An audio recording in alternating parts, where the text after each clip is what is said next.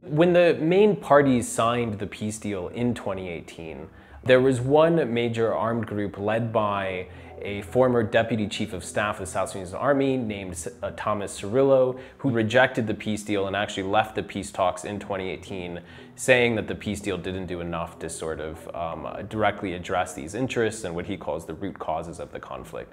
By the time we agree uh, on any peace agreement, uh, it should be accepted by all and we bring sustainable peace to our people.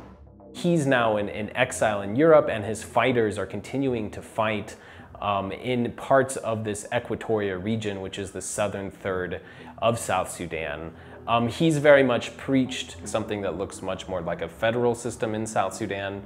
And without sort of bringing these people into the peace settlement, you're going to continue to see large swaths of the country and some of its most fertile and strategically important areas um, in insecurity until that happens.